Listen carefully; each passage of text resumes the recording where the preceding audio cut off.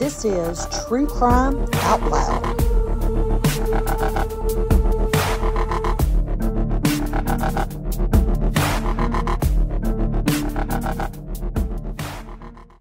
I'm your host, B. And I'm your host, Jen. This week's case is going to talk about abduction. And most of the information in the case we're covering came from a Netflix documentary titled Abducted in Plain Sight. If you've seen it, you know immediately what I'm talking about. If not, I encourage you to watch it after you listen to this because this case is going to sound very unbelievable. But you can hear it directly from those involved if you watch the documentary.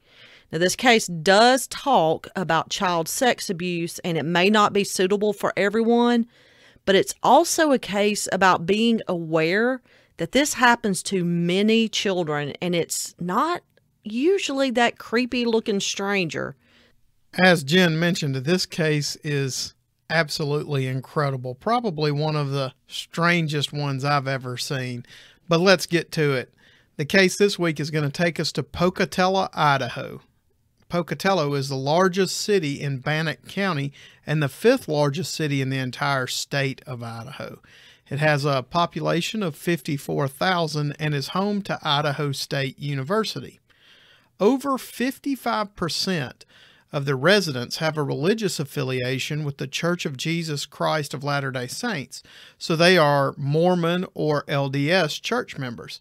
This case is going to deal with one such family, so we refer to their church or religious affiliation as LDS, and LDS is going to play a role in this case. So, a little background on LDS it was started by Joseph Smith in New York during the 1820s. It is a heavily family oriented religion with a strong sense of community and church. It has a strict law of chastity, and sexual intercourse outside of marriage is strictly forbidden. And all of these traits are going to be very important to this case.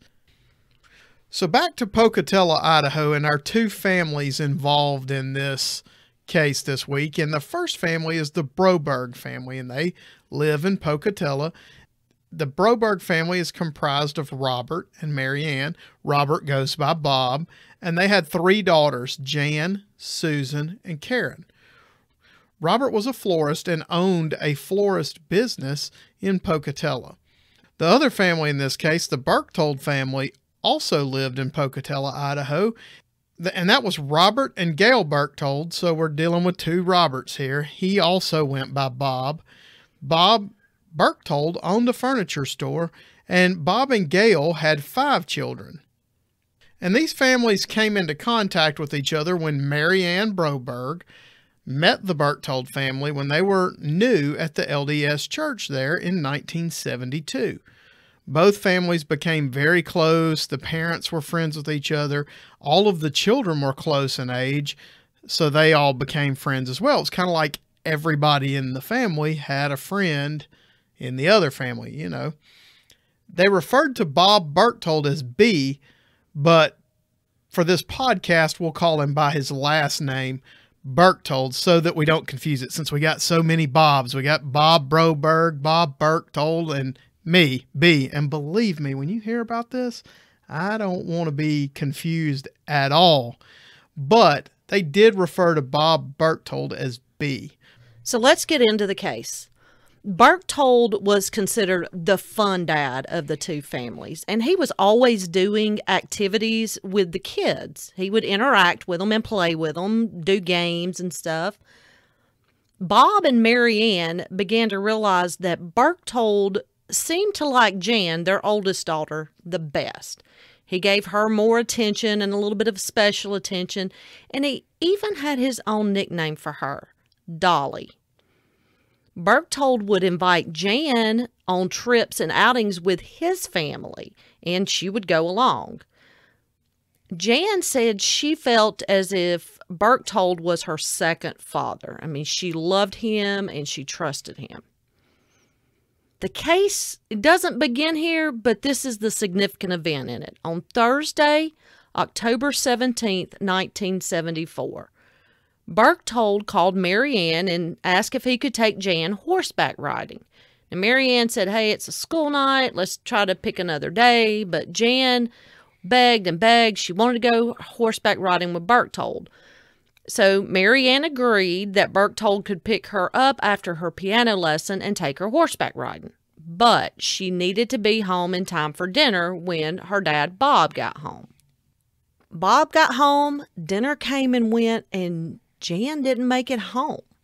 And at this time, Jan wasn't old enough to be out at night really by herself. She was only 12 years old. Mary Ann and Bob were obviously worried and they thought maybe the car broke down or something had happened to Berchtold and Jan.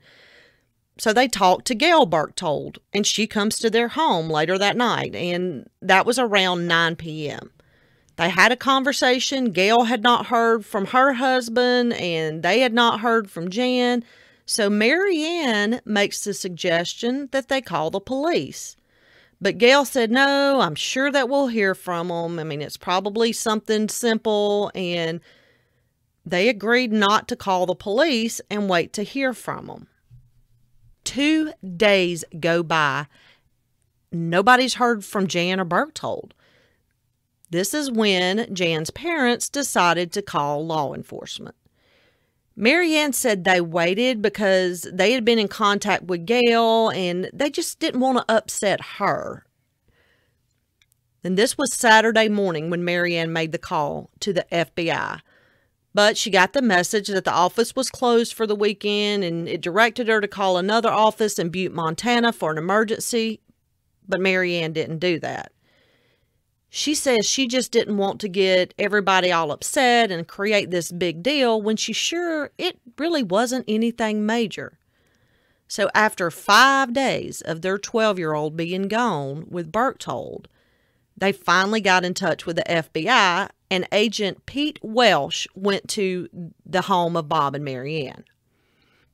Bob and Mary Ann did not feel like it was anything nefarious on the part of Berchtold, but you know, they needed to tell somebody because their 12 year old is missing. A few days later, Berchtold's car was found in Power County and it had been abandoned. The keys were in the vehicle, the driver's side window was broken out, and there was blood on the exterior of the driver's door. The police saw that there were tire tracks near the car that didn't belong to the car and one set of footprints. They talked to Gail. They're trying to figure out hey, I mean, what could have possibly happened to your husband and this little girl? She tells them, well, we have a motorhome, but it's in a storage facility. The FBI go to the storage facility, and as you guessed, that motorhome is gone. The FBI theorizes that those tire tracks at the scene went to the motorhome. They think that Berchtold had staged this car to look like something happened to him and Jan, but what actually happened is he had carried Jan from the car to the motorhome, which means there would only be one set of footprints, and he had kidnapped Jan. The FBI puts out a APB or a BOLO. This is an all points bulletin at the time is what it was called. Now it's more commonly called a BOLO or be on the lookout. And these were the days obviously before an Amber Alert. So all they can do is alert other police agencies of this motorhome and a kidnapping. Bob and Mary Ann tell the FBI they didn't think Jan was kidnapped because they trust Berchtold. The FBI says they had to convince the parents your daughter has been kidnapped. They investigate to see what they can find or where they can locate Jan and Berchtold, but there were no clues to where they might be other than in this motorhome. The FBI starts to talk to people in the community and it seems that Berchtold really liked young girls. Berchtold's own brother, Joe, says in this Netflix documentary that he knew his brother was a pedophile and a sexual pervert and always liked young girls. Joe reveals that when Berchtold was about 12, he molested their younger sister who was only six. The FBI discovers that Berchtold had attempted to get close to two other young girls in the community, but the parents realized what was going on and they put a stop to it. One other unusual thing is that Jan had shared a bedroom with her sister, and it was a very big bedroom. And Berchtold said, "Hey, don't don't y'all want to have your own rooms?" And of course, these girls did. So he built a wall to make two separate bedrooms. And in effect, what he was doing was isolating Jan from everybody else in order to have more access to her without people being around. And if you think this is starting to get a little creepy, well, we're just warming up. Now the FBI believes that Berchtold has kidnapped Jan in the motorhome, but they don't really have any clues on their location. They just have a theory, and their theories coming together based on what Joe, the brothers, told them and what they find out from other people in the area, but they have no rock solid clues. But 35 days into the kidnapping, which would put us on November 20th, 1974, the FBI catches a break. Berchtold reaches out to his brother Joe. He called Joe because he wanted Joe to place a call to Mary Ann, which is Jan's mom again, and get written permission for Berchtold and Jan to come back to the United States and be legally married.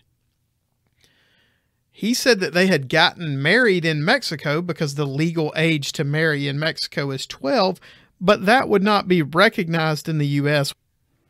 So the FBI verifies that story, and it is, in fact, legal for someone to get married in Mexico at the age of 12, and they do find out that this actually had happened. Joe calls Mary Ann, and she tells him that under no circumstances would they agree to this. Joe explains to Mary Ann that if she didn't agree that Berchtold and Jan would not come back to the U.S. because Berchtold would be uh, either a dead man or have to spend the rest of his life in prison. Mary Ann and Bob would not agree to this. I mean, obviously, they are not going to give this guy permission to marry their daughter that he's abducted. So Joe places a call to the FBI. And the FBI comes in and they tap Joe's phone, waiting on Berchtold to call. And they were able to trace those calls to Mazatlan, Mexico.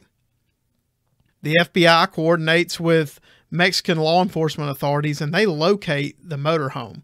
And the Mexican law enforcement authorities actually raid the motorhome itself and rescue Jan from Berchtold. So the Mexican authorities have have rescued Jan and now Berchtold's in custody. And Jan doesn't say a whole lot right then about what happened. I mean, how we got to where we are. Now, later in life, she would kind of fill in the backstory. And she said that once Berchtold picked her up, he had her take allergy pills before they made it to the stables. And so she did. And he told her that that was basically to avoid allergies, plants, and that kind of thing. But Jan said whatever she took put her to sleep almost instantly because she didn't remember any of the car ride. When she woke up, it was dark, but she could tell she was moving in some type of vehicle. She was laying on a bed with her wrists and ankles bound and strapped down, and she said that the pills had her kind of in and out of consciousness, but when she finally came to, her restraints were removed and she began to hear this weird voice coming from a white box next to her head. And she describes the voice as a strange, robotic, monotone voice that made her feel like she had been kidnapped by a UFO. You got to remember, she's 12. And during the mid 70s, science fiction was very popular. So, movies and books about aliens and alien abductions were very, very common. And that's right where her 12 year old mind went. The voice in the box told her that they were aliens from another planet and their names were Zeta and Zethra. The aliens told her that she, meaning Jan, was half human and half alien. They told her that her mother was human, but her real father was an alien. They also told her that now time had come for her to complete a mission for the alien planet in order to save the inhabitants of the alien planet. Well, let me say right here, I know this is getting really out there, but it is important And you got to remember, we're dealing with a 12 year old here. The mission that is being recounted to her through the box by Zeta and Zethra, just so we're all on the same page. The mission was for her to have a child with a male companion that she would soon meet, and she needed to do this by the time she was 16. The aliens told her if she didn't complete the mission that they had a backup plan. And the backup plan was that her sister Susan who was also half alien, would have to complete the mission where she failed. She was told by the aliens to go to the front of the motorhome, and there she would meet her male companion. This 12 year old, Jan, did as she was told, and when she went to the front, there was Berchtold. She said that he was covered in blood, his eyes were, were closed, he wasn't moving, and he looked dead. Jan shook him until he became conscious. She said she was terrified, but felt some relief when he started to stir because Berchtold was there with her and she trusted him. Berchtold began to tell her what happened, how they got to where they are, and he said they were going horseback riding when all of a sudden he saw a bright white light and he thinks that they were abducted by aliens. Jan then informs Berchtold that she has been given this mission by Zeta and Zethra to accomplish. And Jan had fully bought into this alien mission. Remember, this was just a minute or two after hearing this mission. And like I've said several times, she's 12. It's worth noting that at the time, Berchtold was somewhere in the neighborhood of 40. Jan recounted later in life that she felt like she spent a good bit of the time in the motorhome drugged. So Berchtold is is engaged in this charade and he begins to rummage around in the motorhome, I guess looking for something to help them escape or whatever and lo and behold he finds some books and these books were all about sex. Jan and Berchtold sit down and read these books together. Sometime after looking through the books, the white box with the alien voices told her it was time for her to ask the male companion to do what makes people happy. Jan, believing that this is an, a message from aliens to carry out this mission, complied and asked this of Berchtold, and that's when the sexual assaults began. She said it was not violent or aggressive and that he never fully penetrated her but would insert an inch of his penis into her vagina. Jan remembers having to focus on something else in order to get through this, and she even mentions in the show looking out the vents in the top of the motorhome. Like B said, that's what Jan remembers and tells later in life. Let's go back to the rescue and what she told then. So Berchtold's arrested, Jan's rescued, and they're both taken to a Mexican jail. At one point, a guard takes Jan into the area where Berchtold is being held. Berchtold tells Jan to tell her family that he brought her on vacation, he made a mistake and took her too far away. He said he did not tell her family like he should have, and this was just a mistake, but she needed to tell her family this. He also tells her he had been visited by Zeta and Zethra, and they told him there were four things that neither of them could talk about. They could not talk about Zeta, Zethra, or the alien planet. They could not talk about the relaxing pills. They could not talk about the mission at all. And they could not talk about the sexual experiences, which were part of this mission. Jan was also to have no contact with any other men, even her father. So she was to avoid all men and boys. If either of them talked about the four things or Jan had contact with other men, some bad things would happen. Jan's sister Karen would go blind. The aliens would kill her father. They would take Susan to complete the mission and then Jan herself would be vaporized. Jan says that she was scared to death, so she followed the rules for years. Now, later it's learned that Berchtold had bribed a guard in the Mexican jail in order to get access to Jan. Bob and Mary Ann went to Mazatlan, Mexico to get Jan. When they see her, her immediate concern was for Berchtold. She wanted him to come home with them. She insisted that her parents contact the authorities and tell them they had just been on a vacation and nothing happened and she was fine.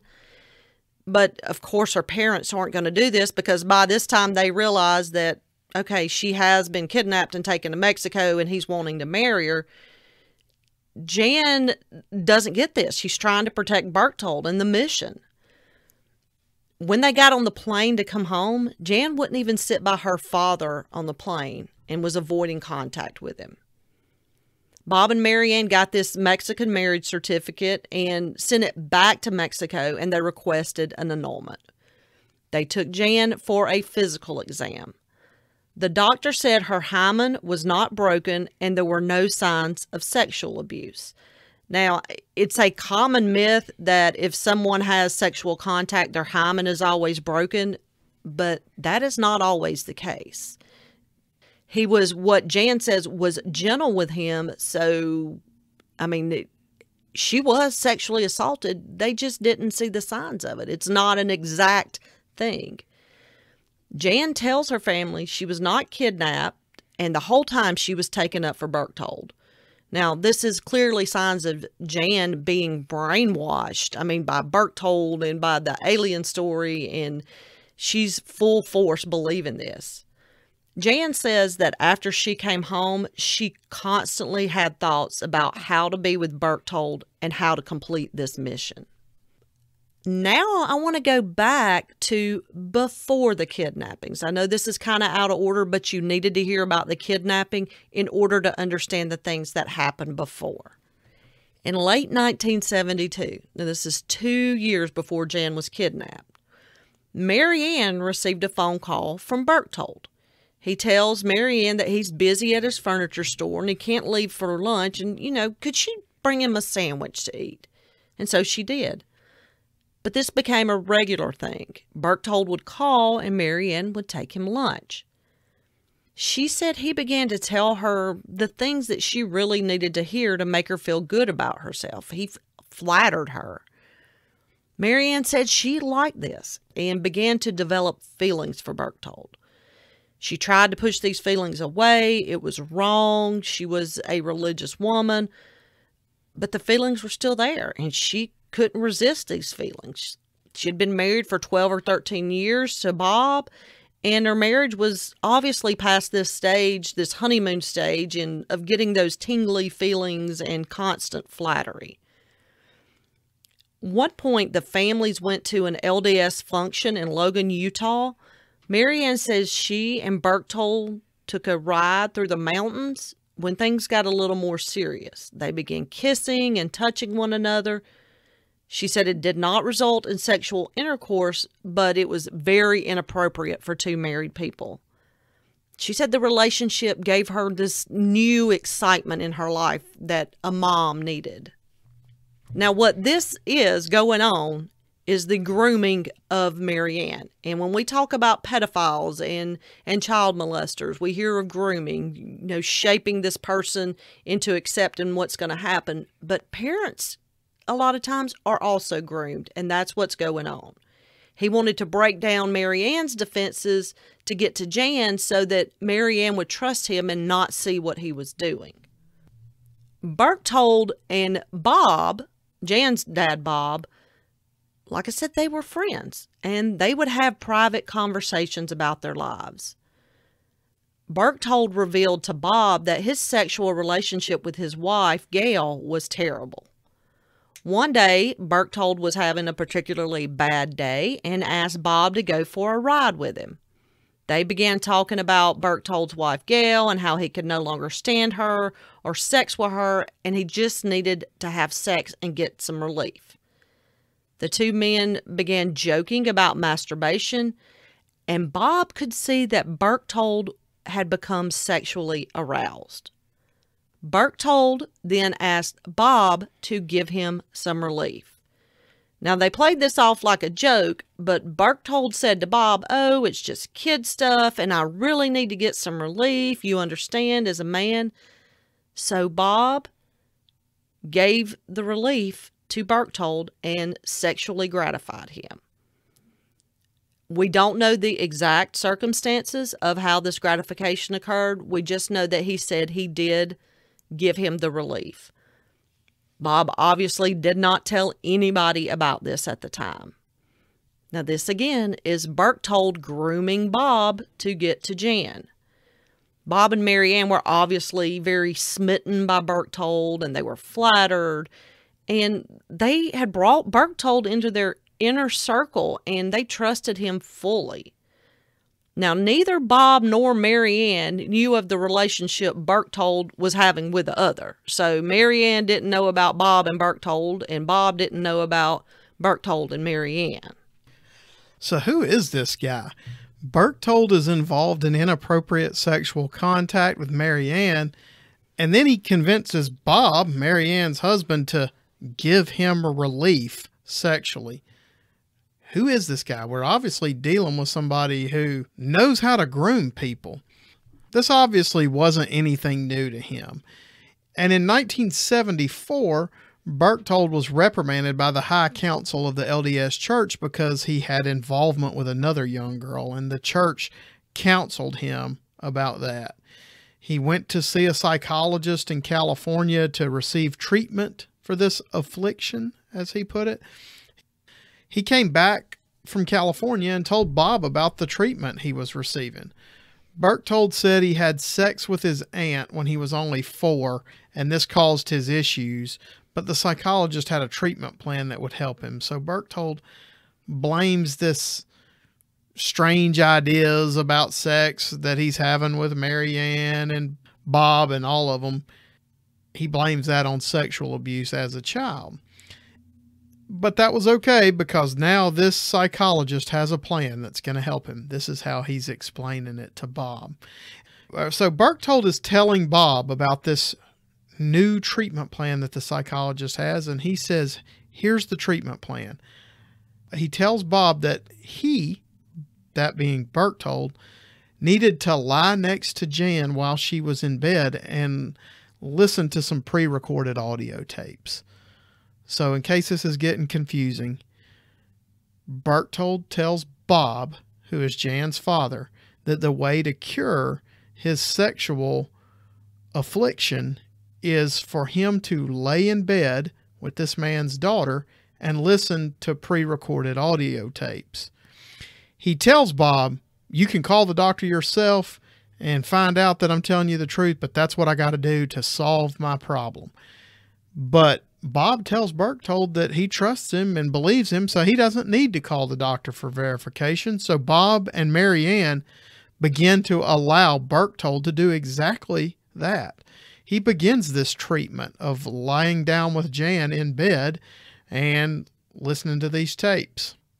And the way this went is once Jan was in bed and asleep, Berchtold would lay down beside her alone, not being monitored by parents or anything, not that that would make it any better, and listens to these tapes that say things such as, feel her caressing you, feel the warmth of the blanket, and other very disturbing things like that. We've got a brief clip of some of those recordings and we're going to play them for you. Listen for the waves in the background, and she starts caressing you a little faster now, and you can feel it, and it feels so good. It feels so good. She's caressing you very rapidly now, and you can feel it very rapidly. Good, and you listen for the waves. You feel the warm, soft blanket, and the blanket smells good. So we've obviously got big time issues going here. You've heard the audio recordings, and we've got parents that are allowing this pedophile to lie in bed with their child. The FBI discovered that the psychologist really did exist, but was not a licensed psychologist and had his license revoked. And of course, like it's any real shocker to anybody. During this time, the police later discovered that Berchtold is molesting Jan during all these sessions. He was sleeping in her bed with her with the parents' consent about four times a week for six months. And this occurred this okay and this took place all the way up until the day he kidnapped her Bob and Mary Ann said that they had no idea Berchtold had sexual fantasies about Jan. And they say that this was a time when pedophile wasn't really a word in most people's vocabularies. They trusted Berchtold and did not see the warning signs because of their close relationships and involvements with him. And and that's what grooming does is it kind of gets them to put their defenses down. He was always giving her vitamins and allergy pills, but later it's found out just like in the kidnapping that these pills were actually sleeping pills. They discovered that this wasn't even the first time he had used this flimsy alien abduction scam uh, on girls. He had actually done this several times before. So, surely now, and I know we've kind of skipped back and forth, but we want to get some backstory in there. But now we're back up to Jan being rescued and she's home. Surely Berchtold's on his way to prison. Jan's going to get the help that she needs and everything's going to be all right, right? Not so much.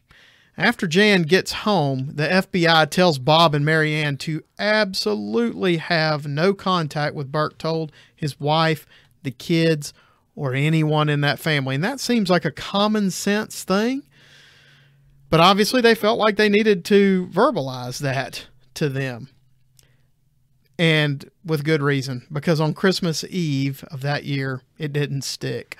Gail Berchtold came to the Broberg home Mary Ann answered the door, and Gail requested to speak with Bob alone. She came into the home and she spoke with Bob by himself. After she left, Bob told Mary Ann that Gail wanted them to sign affidavits and drop the charges against Berchtold, her husband. Gail said that if they didn't do this, the Berchtolds were going to expose Bob's homosexual relationship with Berchtold and tell everything. So now we see that this trap has been set. The dad is under this pressure because he's been involved in this sexual encounter with Berchtold, and the wife's been involved with a sexual encounter with Berchtold. I mean, they got a lot of problems going on. Bob and Mary Ann signed these affidavits, and they basically absolve Berchtold of responsibility. They say that Jan wasn't taken by force or against her will. She wasn't held confined against her will at any time that she was with Berchtold. And they, in the affidavit, it even states that they believe there's a strong possibility that Berchtold was under the impression that he had their permission and consent to take Jan with him when they left in that October. It also had a statement in there about how it is Bob and Mary Ann's right under the First Amendment of the Constitution to keep these matters within their family, and the interest of justice and society would not be served by continuing to prosecute this matter. So they have signed basically an affidavit that lets Berchtold off the hook for kidnapping and molesting their daughter. I can only imagine how the FBI agents who worked on this case felt. They were obviously fuming. They told Bob and Jan that they couldn't do this and that they were still going to take Berchtold to trial. But they were aware, as True Crime Out Loud listeners are also aware, when the victim or the victim's parents in this case become uncooperative, it makes the case very, very, very difficult to prosecute because there would be no cooperating witnesses with the case. Berchtold's trial was postponed and he was released on his own recognizance. So after all this, his trial gets postponed. He gets let out on bond. That released on own recognizance means that he didn't even put up any money. He basically signed his own bond. Berchtold ended up moving to Ogden, Utah to work at his brother Joe's car dealership, and his wife stayed with in Pocatello with the kids. And this was all while he was awaiting trial on this kidnapping charge. However, Berchtold would come back to Pocatello every weekend and still attended church every weekend. And as if the story couldn't get any more convoluted, it really does. Jan said that the first time she has contact with Berchtold after she was returned home from the kidnapping he was in her bedroom. The white box and the alien voices woke her up, and she saw him standing in her bedroom. The box talked of the mission and how she was to keep following the rules. She said that she would get notes handed to her at school telling her to go to a particular location after school, and she would receive further instructions on the payphone at the location. Jan always complied with this, and the alien voices talked to her over the phone when she would do this. She got love letters from Berchtold, and she wrote love letters back to him. And Jan stayed strong in her support of Berchtold. In fact, she told her mother that she wanted to marry him. This is all while this guy is out on bond for kidnapping and molesting her. Well, while this is going on, after she's home from her kidnapping, about six months later, so spring of 1975, Jan's home. Berchtold begins calling Mary Marianne every day. He's telling Mary Ann how much he loves her, and he used the same flattery and grooming that he had used before. She asks him, Well, why would you marry Jan if you love me? And he tells her, Well, we need to meet in person so I can explain all this to you. So Mary Ann agrees, and she goes to his motorhome where he was living.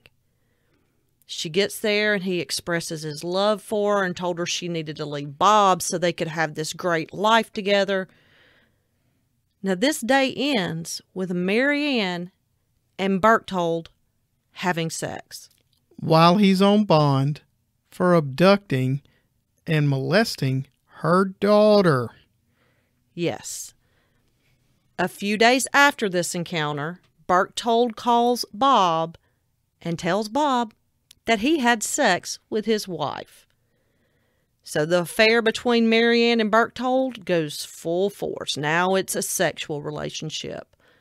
Well, Bob, he starts to see through some of it, and he realizes that Berchtold's doing this to get to Jan, and it wasn't really about Mary Ann.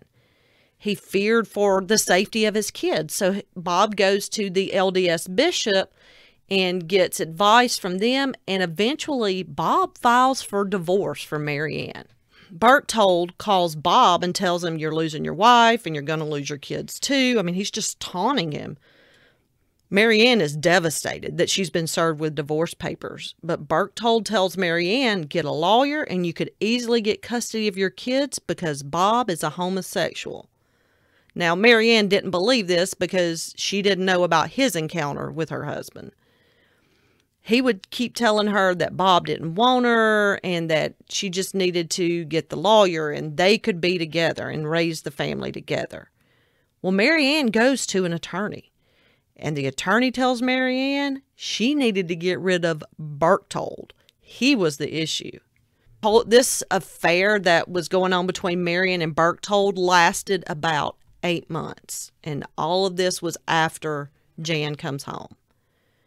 Mary Ann tells Berchtold, I'm not going to leave my husband, and she was done with him. And Mary Ann and Bob were actually able to reconcile and try to pull their family back together.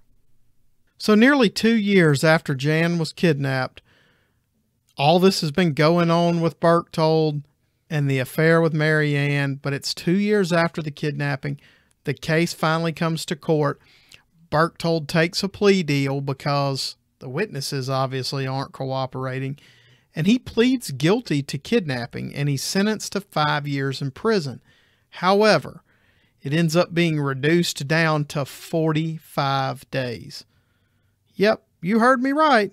He kidnapped someone, took them to Mexico, married them illegally, a juvenile, molested her, and he got 45 days. That's it. And you would think that that's where this story ends. Guy gets off light 45 days for something that he should sit in prison probably for the rest of his life for. So after court, Berchtold moves away to Jackson Hole, Wyoming, where he bought a family fun center. And he sounds like the kind of guy that needs to own a family fun center. Yeah he was still in contact with Jan, and he wanted Jan to come to Jackson Hole and work at his family fun center. Well, like I said, this is two years later, so Jan's 14 at this time. Jan begs her parents to go to Jackson Hole, and they're not going to allow this, her to go stay with this guy that's kidnapped her. She would constantly argue with Bob and Mary Ann and continue to beg to go to Jackson Hole. Berchtold ends up calling Mary Ann, and he tells her that Jan's coming to Jackson Hole one way or another. She's dead set on it, and it's going to happen. She's going to start walking, and she's going to hitchhike to get there if she need to. So it would probably be best for Jan if Bob and Mary Ann just allowed her to, to get there, and so she could get there safely. So Mary Ann puts Jan on a plane to Jackson Hole, Wyoming and this is just I don't know. I assume we're going to discuss this towards the end, yeah. but I'm absolutely mind blown by these parents still cooperating with this pedophile that's molested their daughter. Well, Bob was not happy about Mary Ann doing this, and he said, This is not good, and we're going to regret this happening. Jan stayed there for two weeks, and she lived in Berchtold's motorhome with him and the mission continued. Berchtold tells Jan he would be divorcing Gail and they were going to get married. Well, Mary Ann back at home is having second thoughts about this and she wants Jan to come back home. Berchtold was livid. He told Mary Ann that he would take Jan away and they would never see her again. He was going to take her to the jungles of Africa and just, he was angry. And Jan didn't want to go back. She wanted to stay with Berchtold. Berchtold's brother Joe winds up convincing Jan and Berchtold that if Jan doesn't go back to Pocatello, it's going to be bad. So Jan goes back. So Jan has returned home from her summer job in Jackson Hole, completing the mission with Berchtold. She had been home just a few weeks. One morning, Jan did not join the family for breakfast, and so they went to her room and found a letter from her. And this letter was discovered on August 10th, 1976, when Jan was 14 years old. The letter said that Jan was leaving, and she was leaving without Berchtold this time. She said that she couldn't accept their religion and their, quote, messed up morals because they would not let her be with Berchtold. Bob and Mary Ann are obviously extremely upset when they find this letter. The next day, Berchtold calls Bob and Mary Ann and told them that he talked to Jan and that Jan had reported to him that she was running away. He tells Bob and Mary Ann that he's worried about Jan because she never she never even told him where she was going. Bob and Mary Ann were unsure about what to do, so they told people that she had gone to her grandmother's house. Bob and Mary Ann did finally call the police two weeks after Jan left like we said, this is Jan's 14 and she's now missing for two weeks. And finally, Bob and Mary Ann involved the police again. Three weeks after she left, Berchtold had to report to serve the 45 day jail sentence that he got for the kidnap the first kidnapping, but he only served 10 days of the 45 day jail sentence when he was released for good behavior. When he was released, Berchtold moved away in the motorhome and no one was real sure where he was. Berchtold would continue to call Bob and Mary Ann and he would tell them that he had spoken to Jan on occasion, but he didn't know her location.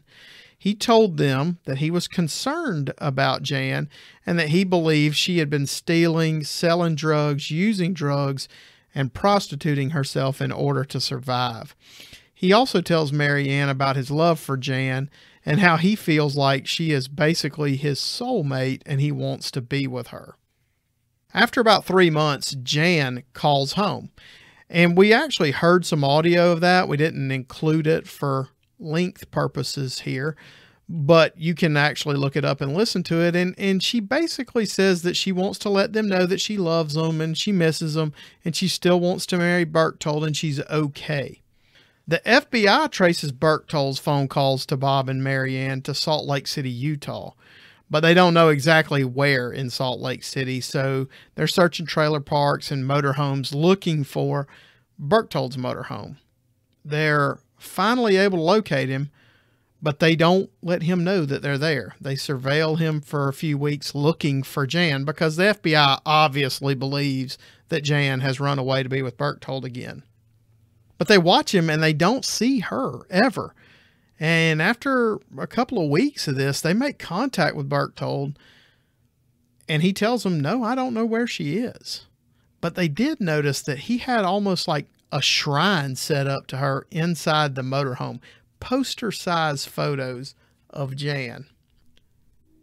They continue to do surveillance on Berchtold and they see him use a payphone.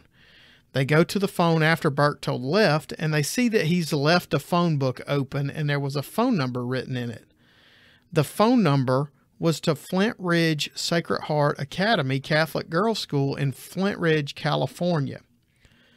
Law enforcement contacts the school and the school says, Hey, we've never heard of Jan Broberg. We don't know who that is.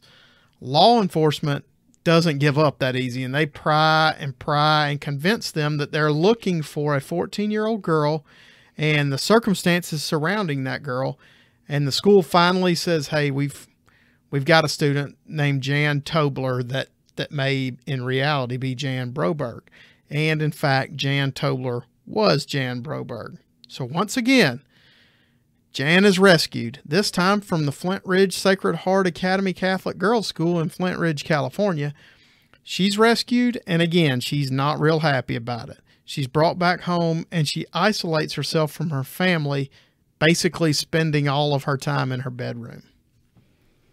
So, what led up to Jan leaving, running away, and how did she get to Flintridge Girls School? On August 10th, the day that the note was found, she had left through her bedroom window. Berchtold was outside and waiting on her, where they drove to California. He enrolls her in this girls' school, presenting himself as her father. He tells the nuns at the school that he's a CIA agent and he had escaped from Lebanon, where Jan's mother was killed. He tells the nuns if people call looking for Jan or for him, these were the people that are after him. These are the bad guys, and don't provide any information to anybody about my daughter. I mean, I need y'all to take care of her while I take care of my CIA business. Berchtold would drive every weekend to visit Jan while she was in school. Now, the day after Jan is found at the girls' school, Berchtold is arrested for federal probation violation and impersonating a federal agent and he's brought back to Pocatello, Idaho. A little over a month after Berchtold is arrested this time, Bob's floral business burns to the ground. And he just knew that Berchtold had to have had something to do with this. Jan, on the other hand, feels that this fire happened because of what she had done wrong and the aliens were angry at her. Well, police find the two men who burned the business. They had met Berchtold in jail, and he offered them a monthly stipend of a $1,000 if they would burn the business. However, they weren't able to make a strong enough case to connect Berchtold to these two people from jail in order to get a conviction on him. So he skates on this charge. So this is even tiring to keep updating. And I know that you may have a hard time following it, but just a little brief recap. This guy has now been in sexual encounters with both parents. He's abducted the girl twice. He's been involved in sexual encounters with her several times. She spent a summer working at Jackson Hole at his family fun center with her parents' permission, essentially, being molested then. And now we're in court again after he has registered him, her in a school under a false name and told them that he's a CIA agent. The second kidnapping case finally comes to court. And Berchtold is acquitted by reason of mental defect on all charges, and he is sentenced to serve time in a mental health facility in 1977. He does, in fact, spend time there six months, and then he's released. Berchtold says that he had his this fixation on Jan because of his childhood and that he had grown up in isolation on a farm in Wyoming, but he was never really part of his family. He said that he was forced to sleep in the bunkhouse and had been sexually abused by the hired help. He stated that his mom got sick and she left home and he had to take care of his younger sister. When he took care of his sister, he now felt like he was part of the family, and that kind of reflects back to what Joe said, his brother, that he recalled Berchtold sexually abusing their younger sister. This forced situation of taking care of his sister to be included in the family made him feel this need to take care of a little girl. That's what he's claiming. After the second kidnapping, Berchtold didn't contact Jan as much. She said she now knows he was losing interest in her because she was becoming older. But she still believed in the mission and even continued to follow those lists of things that she wasn't supposed to do. On her 16th birthday, she said she knew she had not completed the mission and that they were going to take Susan. So her plan was to get a gun, kill Susan, and then kill herself. And obviously, she didn't follow through with this. And that's just tragic. I mean, you can tell that this this little girl has, has bought this story hook, line, and sinker. It was not until the day after she turned 16 when she wasn't pregnant and therefore didn't complete the mission that she finds out that absolutely nothing bad happened. Her sister didn't become blind, her father wasn't dead, and she didn't vaporize. She told her best friend and her sister about the mission, and they urged her to go to her parents because they could tell she truly believed these things. So Jan told her parents, and they responded with disbelief, but they were very concerned. And it took Jan some time actually to realize that she was not part alien and no bad things would happen because of her and that kind of thing. He really had this hold on her. Brainwashing. Yeah, definitely brainwashing. And Jan continued to recall things as she gets older. You know, more and more pieces of the puzzle are starting to fall into place. And Jan remembers doing sleepovers at the Berchtold home. She said they had a large trampoline. They'd all sleep outside under the stars. And on one of these sleepovers, Jan remembers waking up with her panties down around her ankles, and Berchtold was there next to her. He tells her that she was sleeping restlessly, tossing and turning, and that must have gotten her panties down somehow. And Jan, who would have been 12, 11 or 12 at this time, believed him, believed that's what happened. In June of 1973, Jan went with the Berchtold family on a vacation to Seattle. One night at dinner, Berchtold said Jan began to act strange. She was swaying and rocking back and forth and basically acting odd, and Berchtold decided to take her back to the room. Jan said that she remembered being very tired and Berchtold carrying her back to the room, and she woke up at one point during that encounter and saw Berchtold naked. So she's remembering all of these instances that that happen the older she gets. And he's obviously drugging her a good bit in order to make these things happen and her not remember it. So essentially, between 1972 and 1976, I mean, he's having repeated encounters of all types with basically the whole family, but all in an attempt to get close to Jan. So then comes the book how this book comes to be, Mary Ann in the 90s, she began to write it based on the events that happened in the case, and she had the help of Jan. In 2003, she completed the book, and it was named Stolen Innocence, and it gets released. Mary Ann and Jan began doing book signings and they were doing speaking engagements. And what they were doing is bringing awareness to child predators and how the majority of the time it's not like I said, not the scary guy driving the van down the street handing out candy, but it's someone you trust. It's someone in your inner circle. However, this brings Berchtold back into their lives, and he fought them tooth and nail. He began to put out information that these were lies and they were just trying to sell a book and they were trying to tarnish him. He tells them that he's going to make their lives miserable. So this results in Jan filing a restraining order against Berchtold. But Berchtold contested the restraining order. So they end up with her as an adult, him as an older man, face to face in court. Berchtold questioned Jan directly, but like I said, now she's a grown woman who knew Berchtold was an abuser. And if you see any of the case and watch this documentary, Jan held her own very well. The judge granted this order, and this was to be in place not for the standard three years, but for the remainder of Berchtold's life. He was to have absolutely no contact with Jan. But Jan was still afraid of Berchtold.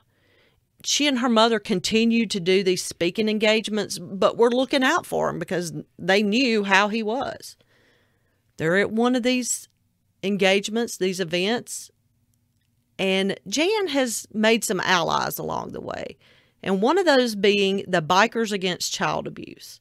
So they're showing up to this event to protect Jan in case Berchtold shows up. We're never going to guess what happens, but Berchtold is in the parking lot and he gets stopped and held by the bikers until the police get there. The police search Berchtold's van and they find a gun and he's arrested again. This time he's charged with certain persons forbidden to possess a firearm and aggravated assault, and he was found guilty on these charges.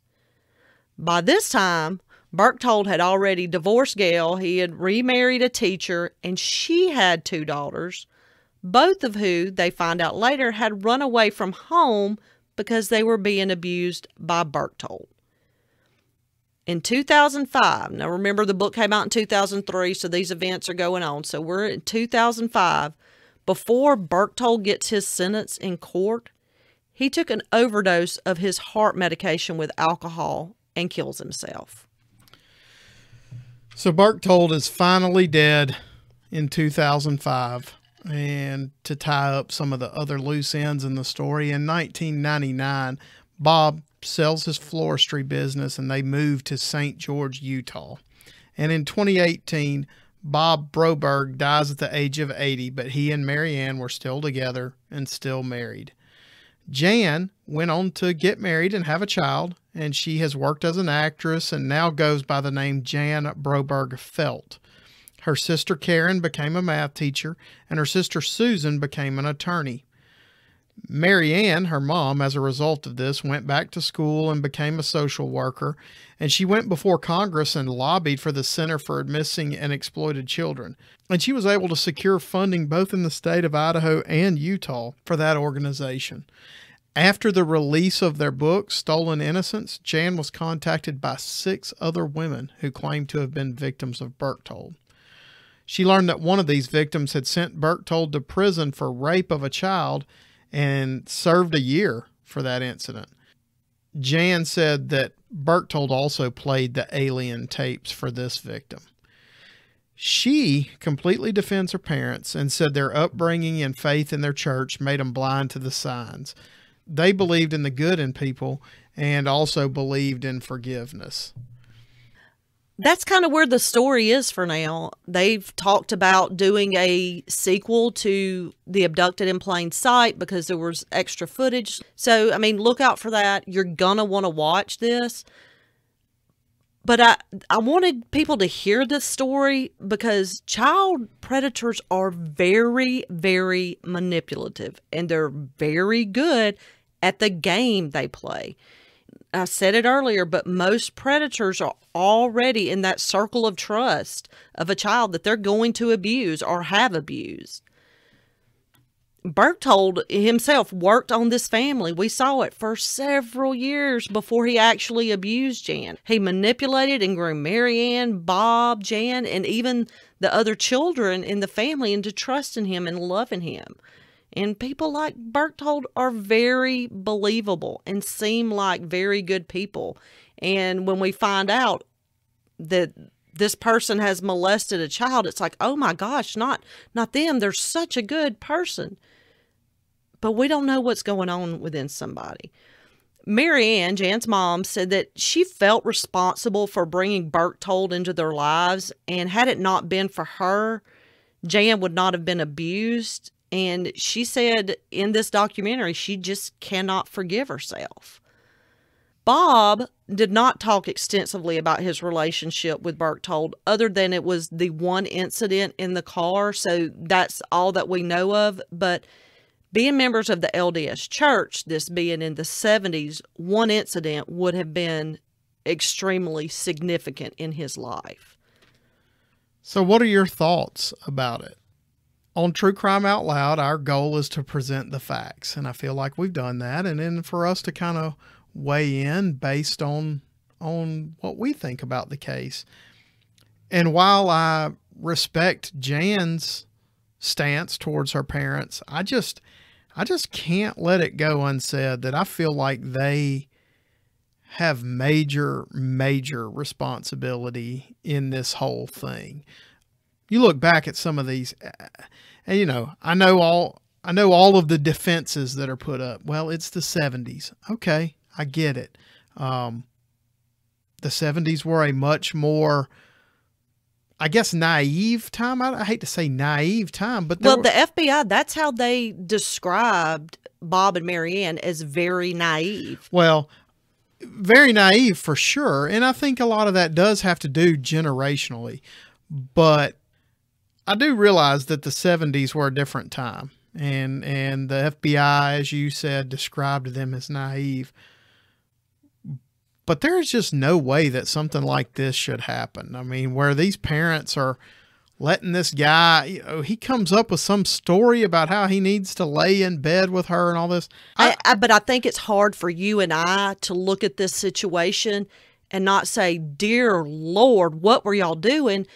But that's because of our law enforcement backgrounds. We don't trust people naturally like most people do. I completely and, disagree with you on that, though, because no one no one, law enforcement background or not, trusts people with their kids to this level. You don't have to have a law enforcement background or anything other than good old fashioned common sense to know that you need to distance yourself away from some guy who tells you that his treatment for sex addiction is getting in bed with your kid. Well, I mean, it happens all the time under parents' noses, and they they don't know. I don't know. I, I don't know what to say. I mean, I, I, I don't. I'm trying not to be judgmental of Bob and Mary Ann because I was not in their shoes. I don't have the same, we don't have the same life experiences, and and that goes to play in this. So I'm trying not to to make a judgment on what they did. Yeah, and they admitted, yeah, we made mistakes and we screwed up, but you can't go back and undo that now.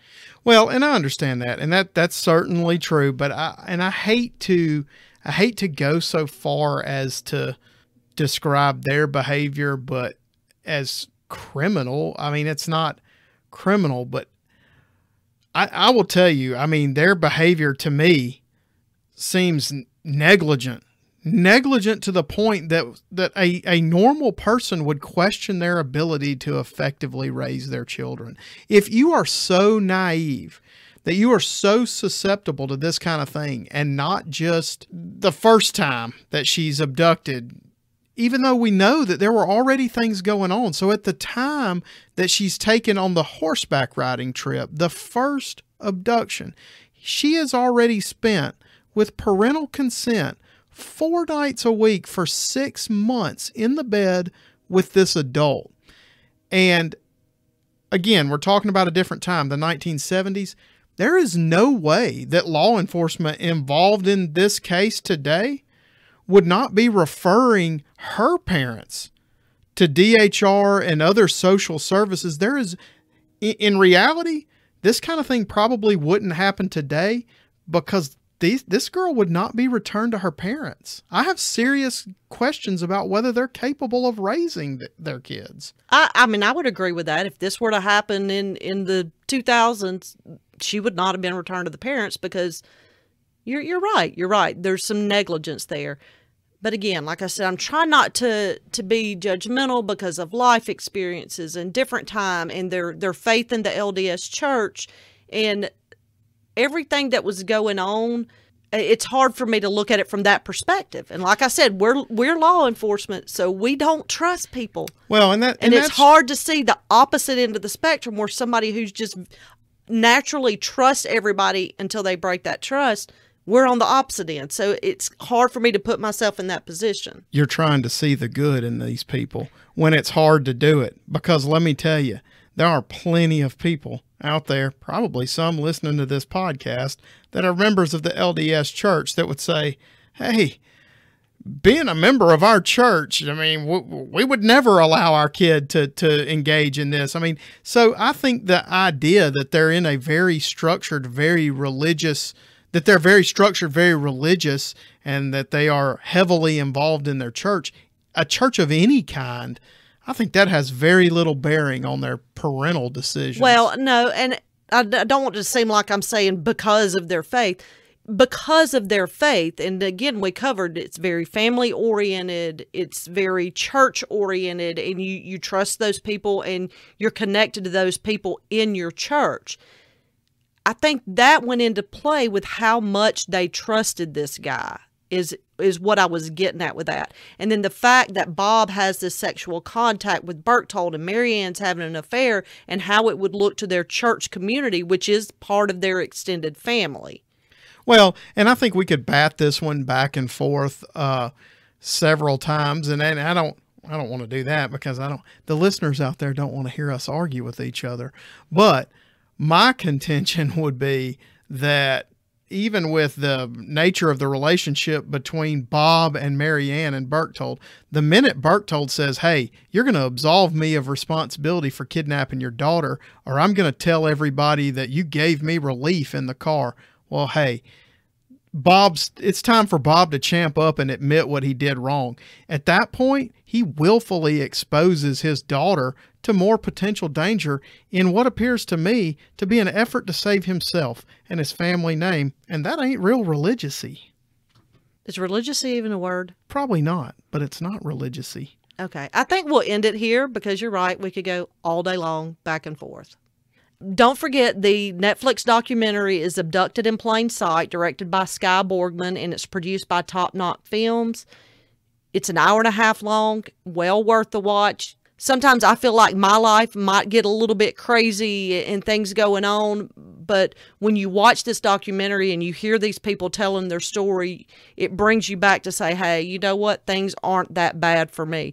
The book written by Mary Ann and co-authored by Jan is called Stolen Innocence. There's also links on our website to some other sources and some other information on child abuse and seeing the red flags and the warning signs. Hope you enjoyed the case this week. It certainly should appeal to those who like twists and turns. As always, we'll see you next week. We would like to hear your thoughts on this and all of our cases, and as always, you can reach us by email at truecrimeoutloud at gmail.com, Facebook and Instagram at truecrimeoutloud. Out loud is two words, not one, and Twitter at tcoutloud. Photos, links, and sources for this case can be found on our website at www.truecrimeoutloud.com.